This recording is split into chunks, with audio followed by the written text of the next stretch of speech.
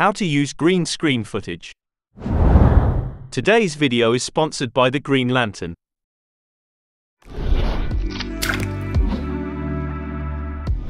Open your clip in the Fusion page and bring the Chroma Key node. Draw in the parts of the green screen to get rid of the unwanted areas. Most of the time you will not have a perfect green screen, so keep drawing in the parts that are still visible. You will end up with a nice green spill on your image, that's fine, if you live in the 90s. If you want to clean your key, just go to the Image tab, change the spill color to green, and set the spill method to well done.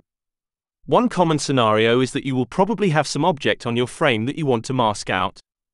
What happens here when you try to apply a mask on your clip is that you will end up with a black spot on your image. Instead of this, you just need to add a matte control after your chroma key. Check the post multiply image box. Change the combine to combine alpha and the combine mode to minimum. Connect your mask to the green point of the matte control, and now you can mask out any part of your frame that you don't need.